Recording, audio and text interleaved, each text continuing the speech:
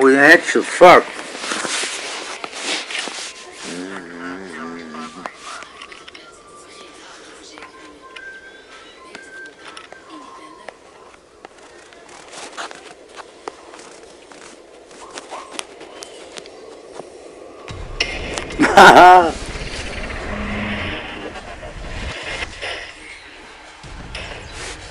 He's done.